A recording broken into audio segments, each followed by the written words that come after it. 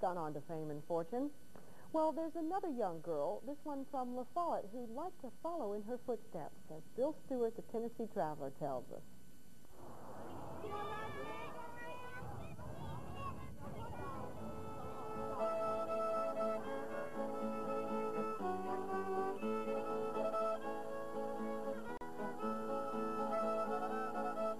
She's only eight years old, but you're as likely to find Virginia Richardson on the fiddle as on a swing set. This talented youngster took to music at an early age when her father brought home the first instrument. And it was an organ, and I got it when she was three. And she started playing here. And then around four, I got her a fiddle, and she started on here. And it all led from there. Since then, she's taken up the piano, mandolin, guitar, harmonica, and her favorite instrument.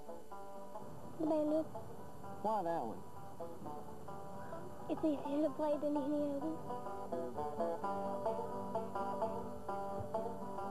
What's your favorite songs you like to play? Old Joe Clark and sometimes WrestleMania.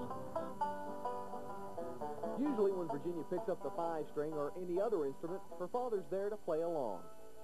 I play the rhythm for her.